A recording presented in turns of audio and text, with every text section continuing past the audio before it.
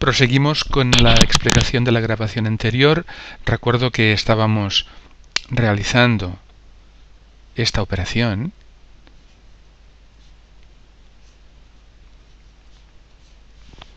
producto entre dos números negativos y habíamos dicho que como por esa propiedad que voy a poner ahí otra vez una propiedad o una observación, como queráis llamarlo, eh, el opuesto de A es igual a menos 1 por A, bueno, pues entonces eh, esto se puede poner de esta forma, menos 2 por menos 1 por 3, puesto que aquí aclaración, menos 3 es el opuesto de 3. Y claro, el opuesto de 3 se puede poner como menos 1 por 3. Lo he puesto así.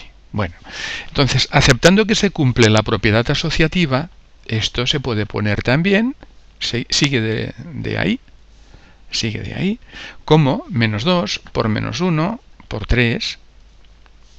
A su vez, podemos ponerlo también así, propiedad asociativa.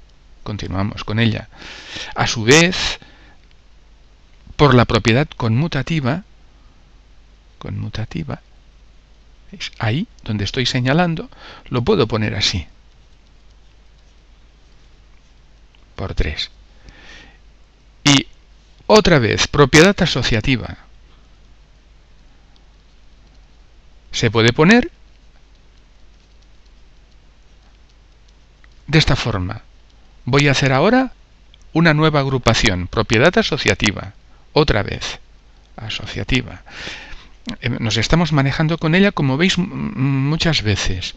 Menos 1 por menos 2 y por 3.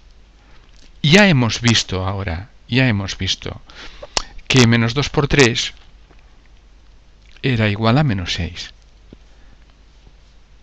Atención, menos 1 por menos 6. Pero claro, ¿cómo? Menos 1 por A es igual al opuesto de A, ahora A, ese A, ese A de ahí es menos 6. El opuesto de A entonces será más 6. Por lo tanto, por lo tanto, Fijaros donde tengo el menos 1 por A, ¿eh? El menos 1 por A. Menos 1. Perdón. El menos 1 por A, que lo tengo ahí. Este es el A, menos 6. ¿Os fijáis? Bueno, pues eso tiene que ser igual al opuesto de A, que es más 6. Este es el resultado de menos 2 por menos 3. Paso a la pantalla siguiente. A ver si nos fijamos en la, deducción tan importante que acabamos de hacer. Vuelvo a escribirlo. Menos 2 por menos 3 es más 6. Antes habíamos dicho que menos 2 por 3, o si queréis ponerlo así, por más 3 es menos 6. Y también podemos decir que esto es lo mismo que por la propiedad conmutativa, conmutativa más 3 por menos 2. Bueno, atención, si multiplicamos una cantidad negativa por otra positiva, nos da negativo. Si multiplicamos una cantidad negativa por una cantidad negativa, nos da positivo. Y por supuesto, si multiplicamos 2 por 3, positivo por positivo, nos da positivo.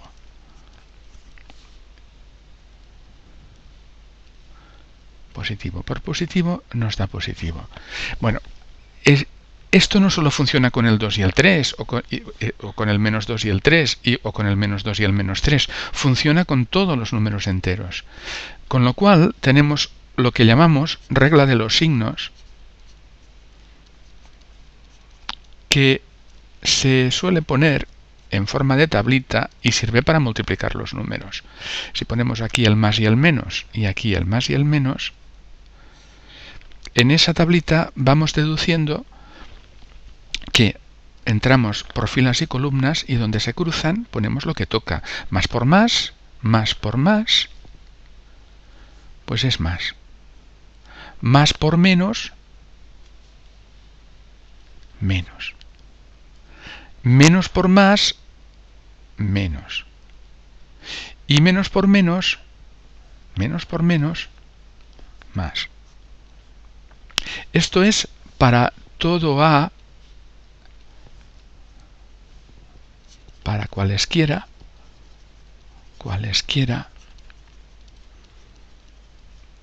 A y B, números enteros, sean positivos, negativos o incluso cero. Si uno de ellos es cero, sobra decir que 0 por A es 0 para todo A, incluso para A igual a 0. Y A por 0, como se cumple la propiedad conmutativa, pues por supuesto también es 0. Antes me había referido a la propiedad asociativa y os he dicho, se cumple también para, para los, el producto de números enteros y así es. La hemos utilizado Quizá debía haber hablado antes de la propiedad asociativa, antes de haber hecho lo que he hecho. Pero, eh, claro, es bastante sencilla de entender y de pensar.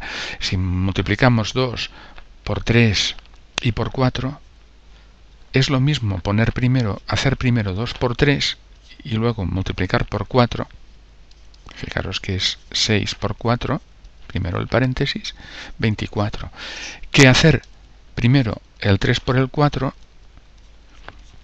multiplicar el 3 por el 4, que es 12, porque primero hay que hacer los paréntesis, lo que está dentro del paréntesis, y evidentemente esto también nos da 24, como, como todos sabemos. Bueno, pues se cumple la propiedad asociativa. A ver, recopilamos un poquito lo que hemos dicho. Se cumplen las propiedades siguientes. Conmutativa, se cumple, ahora ya para no solo para números positivos, sino también para cualesquiera A y B números enteros, ya sean positivos, negativos o incluso nulos, por supuesto, números enteros. se cumple la asociativa.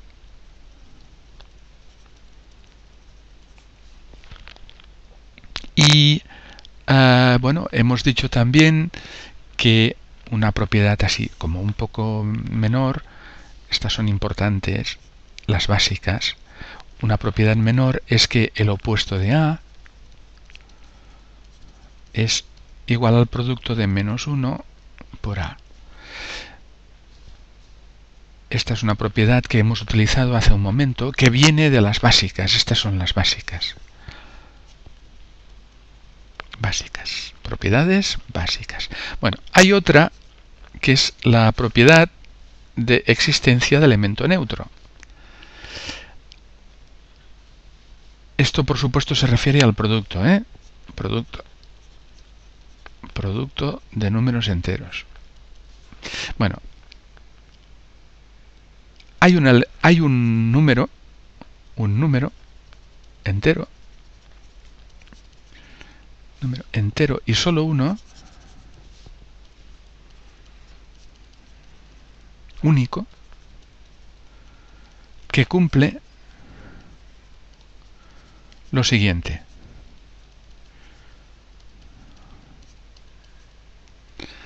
Esto es, a ver, eh, para todo A, para todo número entero, para cualesquiera, cualquier número entero A, se cumple que A por ese número, que lo pongo con un interrogante, al multiplicarlo por A, lo deja inalterado, ese A, ese número A.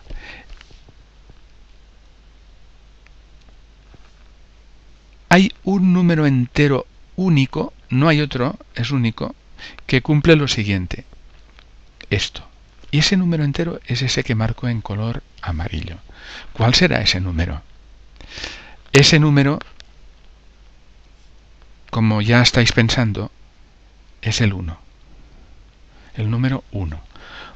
Por eso a ese número le llamamos neutro de la multiplicación. De la multiplicación. O con respecto a la multiplicación es, cumple un papel similar al neutro de la suma que recordemos que era el cero. Bueno, pues hay un elemento neutro. A ver, vamos a pasar a otra, otra pizarrita y voy a hacer aquí una observación importante y es que dado un número entero A,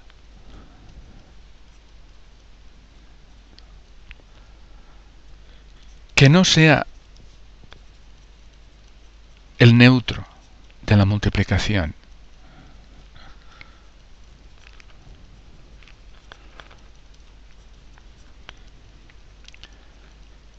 Esto es el 1. El 1.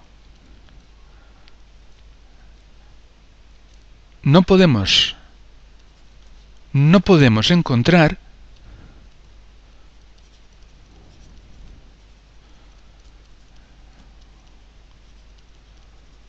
ningún otro número entero que verifique o que cumpla que cumpla lo siguiente.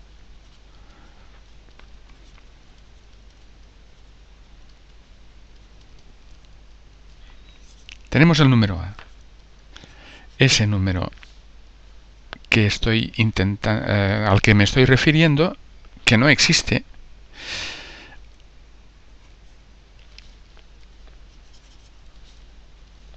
no existe porque esto no se puede dar. Ese número A tiene que ser distinto, digo, que no sea ese A, que no sea el neutro de la multiplicación, es decir, el 1. Si tenemos este otro, este otro número A, no puede, ¿qué, número podemos poner aquí para que se cumpla esto? ¿Qué número entero, claro, tiene que ser un número entero. ¿Esto es posible? Vamos a hacer unas pruebas. Para que veáis que no podemos encontrar ninguno. Sea, por ejemplo, A el número 3. Si ponemos 3 y buscamos números que cumplan eso, nos quedamos sin encontrar nada. Porque si ponemos el 0, eh, evidentemente 3 por 0 es 0 y no es 1.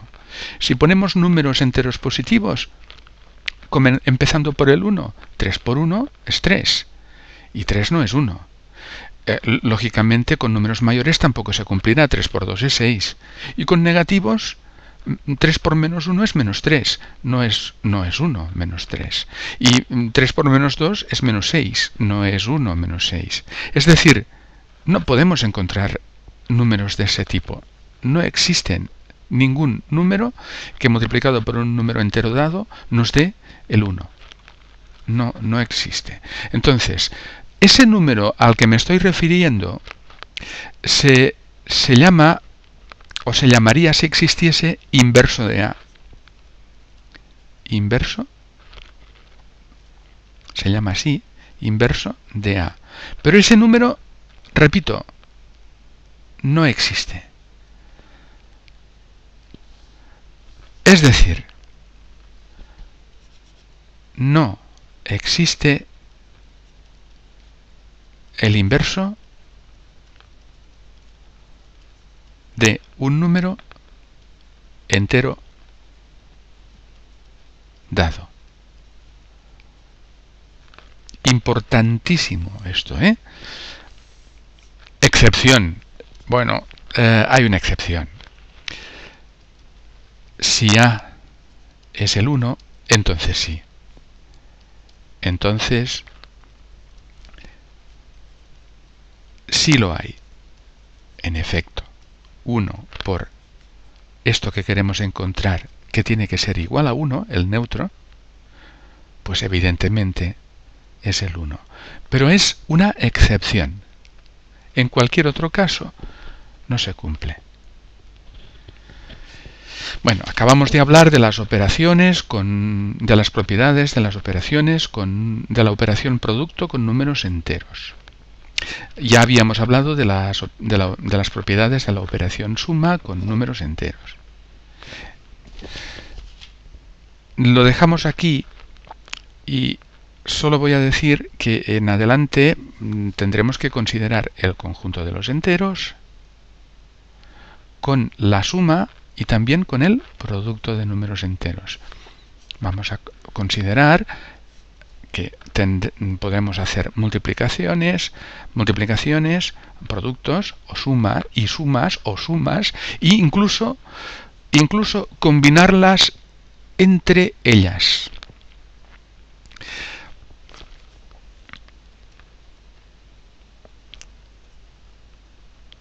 Cuando se combinan, voy a decir solo una cosa más. Cuando se combina la suma y el producto, aparece una propiedad que se llama propiedad asociativa, perdón, distributiva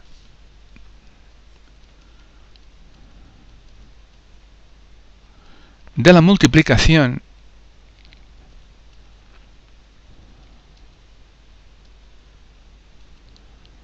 respecto de la suma. Muy importante esa propiedad mixta entre la suma y el producto porque nos permite hacer cálculos mentales con mucha eficacia, también cálculos escritos, por supuesto, y lo que es todavía más importante, cuando trabajemos con símbolos, que no sean números, cuando hagamos álgebra, esa propiedad distributiva nos permitirá muchas veces ah, clarificar una ecuación para encontrar la solución si la tiene, o soluciones. Propiedad distributiva de la multiplicación respecto de, la, de la multiplicación o producto, producto o multiplicación respecto de la suma.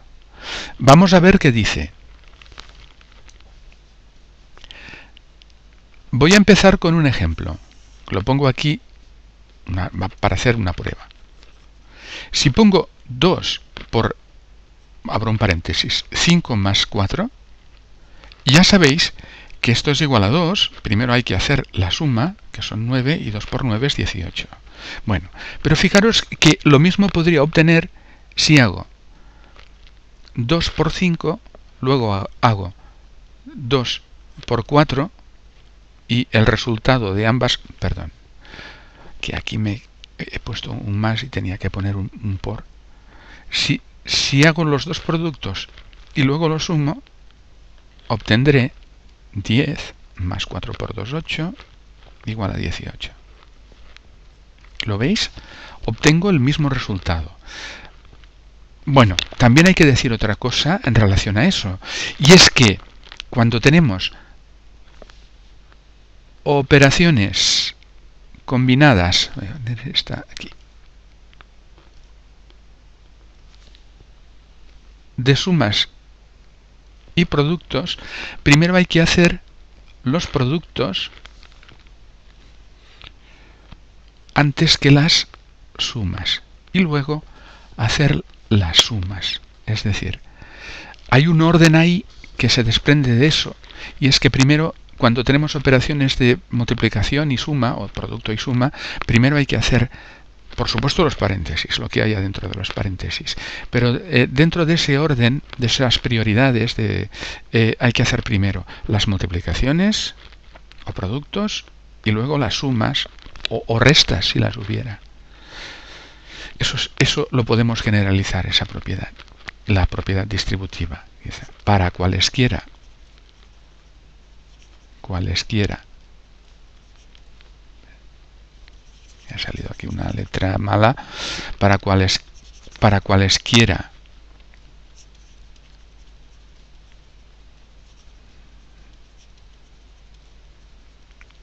A, B y C. Números enteros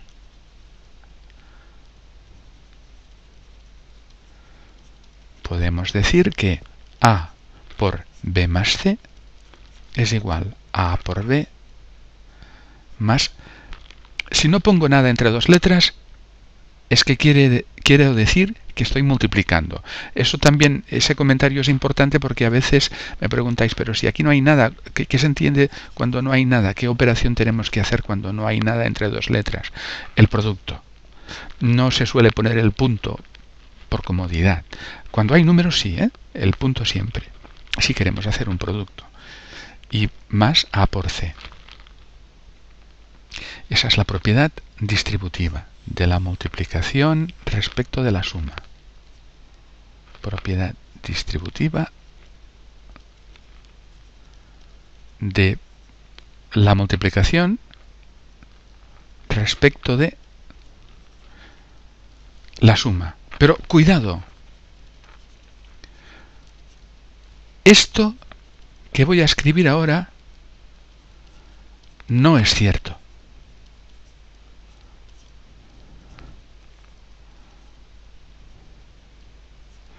Esto no es cierto. Esta sería la propiedad distributiva, también se distribuye una respecto de la otra, pero sería la propiedad distributiva de la, de la suma